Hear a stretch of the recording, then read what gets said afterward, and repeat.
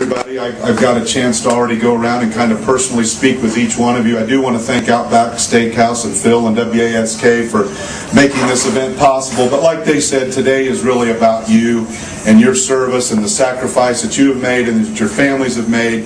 And uh, Mayor Dennis and myself are just absolutely honored and thrilled to be here uh, with you today in a, in a small way to say thank you.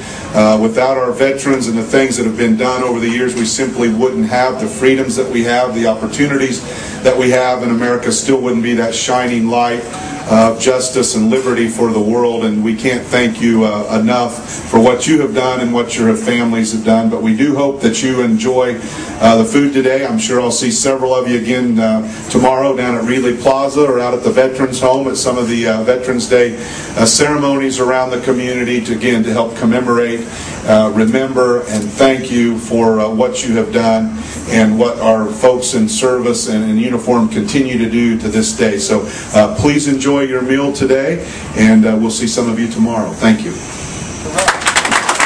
Thank you very much, Mayor.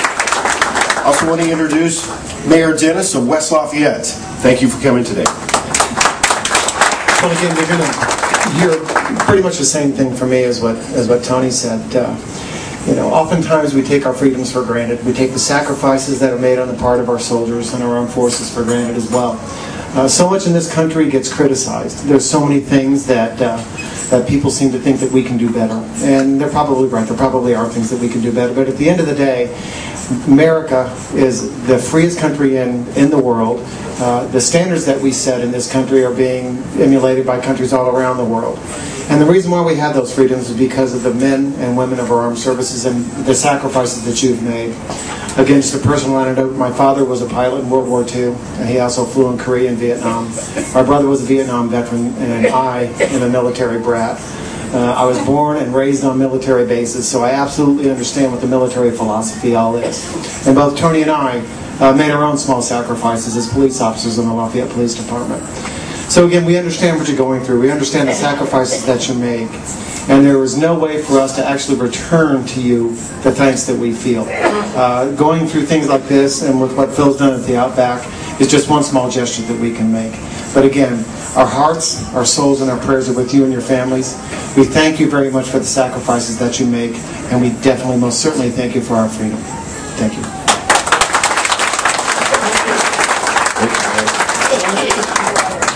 Now I'd like to introduce to you the president of our company, WASK, Mr. John Schurz.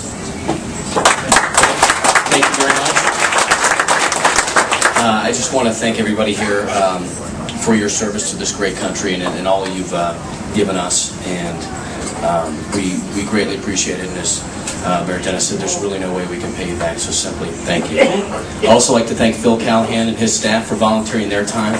I think this is a wonderful thing that they do. Um, we're happy to, to partner with them on this. I'd like to thank Mayor Roswarski and Mayor Dennis for being here and our staff as well for helping put this together. Liz Hahn, our promotions director, uh, Randy Jones, uh, WSK specialist and on-air personality, Seamus, who's our operations manager from WKOA, and Brian Green, our director of sales. So thank you very much, folks, for helping out with this. And I'd like to uh, say the blessing for this meal. Dear Lord, please bless our courageous men and women of the United States Armed Forces. Keep them safe from harm and bring them home safely to their loved ones.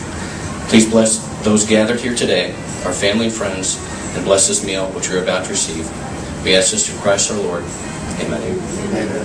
Thank you very much, folks. Enjoy your meal.